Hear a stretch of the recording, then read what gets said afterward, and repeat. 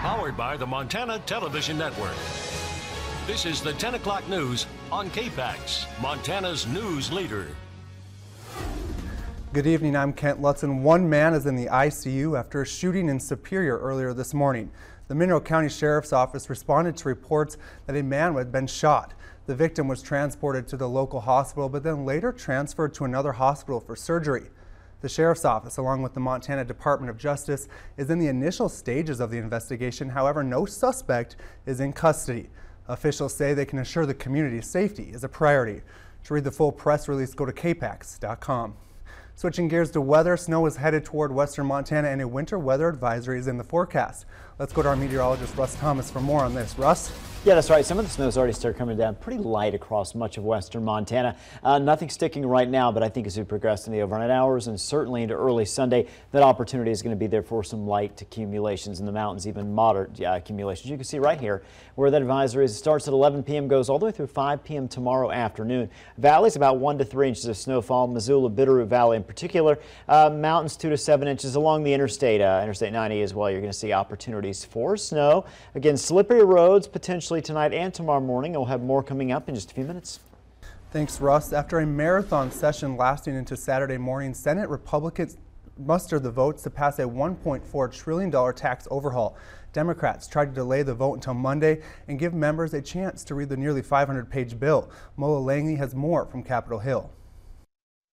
The Tax Cuts and Jobs Act, as amended, is passed. The biggest tax bill in 31 years cleared the Senate with only one Republican no vote, Tennessee deficit hawk Bob Corker. They know I've got fiscal concerns and, um, you know, I'm probably a dinosaur in that regard. Last minute concessions were made to satisfy a few wavering Republicans, adding in a deduction for individual property taxes capped at $10,000 and reviving the alternative minimum tax. I'm totally convinced this is a revenue neutral bill, actually a revenue producer bill that's going to get America moving again. Not a single Democrat voted for the plan. They claim most lawmakers didn't even read the final version, which contained crossouts and scribbled notes in the margins. Nobody knows what's in here, 479 pages. How can you declare which way you're going to vote on a bill that you haven't read? Democrats tried and failed to delay the vote until Monday. The motion is not agreed to. The bill's passage gets Congress one step closer to handing President Trump his first legislative victory. The bill contains the president's essential corporate tax break, which Democrats say will cost the GOP at the ballot box. My Republican friends will ultimately pay consequences for this bill in 2018 and beyond. Republicans insist their tax cuts will fuel the economy and help Americans of all income levels. Lenghi, CBS News, Capitol Hill. In Montana, Senators Jon Tester and Steve Daines took to social media to, to, share their thoughts on the tax reform. Just four days ago, Republican Senator Steve Daines said he was not going to vote yes on the bill unless he saw some major changes for Main Street businesses. Daines said he needed to see revises to the tax cut that would ensure Main Street businesses are not put at a disadvantage against large corporations. Just a, a day later, Daines said he was able to secure more than 60 billion in tax cuts for Main Street businesses, pushing his vote from a no to a yes. After the Senate passed the bill this morning, Daines said, quote, we are one step closer to a once in a generation opportunity to grow jobs and increase wages for Montana farmers, ranchers, small business owners, and working families. Montana Democratic Senator Jon Tester also responded to the Senate passing the tax cut bill. He said, quote, the U.S. Senate just passed a hastily written bill that adds $1.5 trillion to the debt. Washington dysfunction has hit a new low, and Montana families and small businesses deserve better. The Senate bill will sit, uh, will sit and need to be reconciled with the House version before it can go to the president's desk. A tweet that appeared to be from President Trump caused a huge controversy, but now it appears the president didn't write the message himself. Laura Podesta is in the New York where the president spent the day fundraising with the latest. Not long after President Trump finished his remarks at a New York City event, a controversial tweet went out about his former national security advisor, Michael Flynn. Flynn pleaded guilty Friday to lying to federal agents about his contact with the then Russian ambassador to the U.S. Mr. Trump tweeted, I had to fire General Flynn because he lied to the vice president and the FBI. He has pled guilty to those lies. There was nothing to hide. The tweet suggested he knew Flynn had been dishonest back in February when the president asked then FBI Director James Comey to shut down the investigation into Flynn. The tweet caused a firestorm on the social media site. Democrat Congressman Adam Schiff wrote, If that is true, Mr. President, why did you wait so long to fire Flynn? And why did you pressure Director Comey to let this go?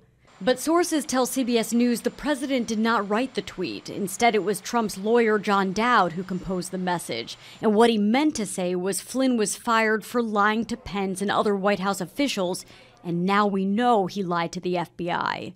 What has been shown is no collusion. No collusion. Speaking to reporters for the first time since Flynn's guilty plea, President Trump did not appear concerned that Flynn is now cooperating with special counsel Robert Mueller's investigation into Russian meddling during the election and possible collusion with the Trump campaign. Laura Podesta, CBS News, New York. Sources tell CBS News they acknowledge Mr. Trump's tweet was unhelpful, raising questions about what the president knew and when. Now back in Missoula with the holidays just around the corner, many Missoulians are getting into the Christmas spirit. The streets of downtown were filled with people taking advantage of all the events going on. MTN's Dona Lakatua reports. Red and green came out in full force as the annual holiday celebrations in downtown Missoula kicked off earlier today. Wreaths and Christmas trees adorned local businesses, and many hosted events that welcomed children of all ages. One organization in particular was certainly feeling the spirit of giving the Independent Order of Oddfellows took to the sidewalk to give out free beverages and snacks to passerby. The Grand Secretary said they want to give back to the community so that people can see all the work they do for local charities. Our mission statement is to uh, work with others to help the uh, underprivileged, to work with Special Olympics. I think we should donate because uh, we can just give more to the community. We can help. Just down the street, the Grizzly Dip was well underway, where Special Olympians and law enforcement raised money and awareness for the Special Olympics. One Olympian in particular was excited and thankful. It, it, I feel very honored to I feel very happy. Just all the cops that I have known here in Montana are very good to me. And they showed me the way to go. Be positive, be a positive role to uh, kids. And last but definitely not least, Santa touched down outside the Florence building and made his way inside with an accompanying band of young guitarists. As kids took photos with Old St. Nick, dozens of musicians in the Childbloom guitar program played holiday hymns that echoed through the central chamber.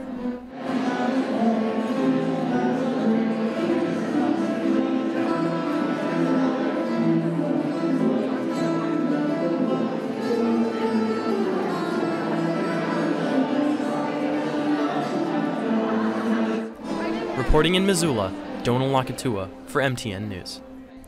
And later this evening, the Downtown Missoula Association put on the annual Parade of Lights, and afterwards, crowds gathered to help Santa count down the seconds until the lights turned on at the tree lighting ceremony. Three, two, one. Merry Christmas! The 15th annual parade started at the beginning on Higgins Avenue and ended at the red X's where the tree lighted lighting was held. Family and friends gathered for the annual event, many having spent the entire afternoon taking part in the Christmas activities. And KPAX is proud to partner with the First Security Bank and Glacier Banks for our annual holiday food drive. Just drop off your non-perishable food donations at any First Security Bank location in Missoula or Glacier Bank in Northwest Montana. All your food donations stay right here in Western Montana. In Great Falls, about 800 airmen assigned to the 120th Air Wing gathered today to celebrate Wingman Day. Wingman Day is a United States Air Force event that promotes a culture of caring and aims to strengthen the bond between all airmen. Today's topic, resiliency, with guest speaker John Parker who will focus on emotional, physical, social, and spiritual aspects that will strengthen performance and resilience. Colonel Beal Dixon says it's important for the airmen to bond and for the Air Force to be a close-knit community. Well, this is about airmen today. It's, it's about connecting with our airmen. It's about having our airmen connect amongst each other uh, teaching them about uh, resiliency, teaching them about uh, how to talk to people uh, and, and understand other people's problems. It's to bring us together as a group, to bring us together as small groups and a big group to let everybody know we're one team, one fight. I can't say enough about the airmen and how they are, are willing and volunteer and they keep pushing forward to help out and uh, do the mission. So uh, my hat's off to them.